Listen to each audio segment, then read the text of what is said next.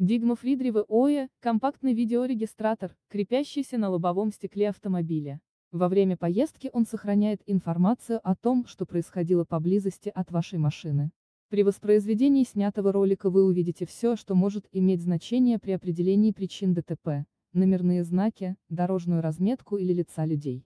Универсальность. Камеру можно использовать, чтобы делать фотографии, датчик движения, Устройство автоматически начинает работу, когда в кадре обнаруживаются перемещающиеся объекты. Этот режим будет особенно полезен, когда транспортное средство стоит на парковке. ЖК-дисплей. Вы можете просмотреть сделанную запись на 2,4-дюймовом экране, не выходя из машины и не тратя времени на поиски компьютера, ноутбука или телевизора. В корпус встроены микрофон и динамик, поэтому ролик будет сопровождаться звуком.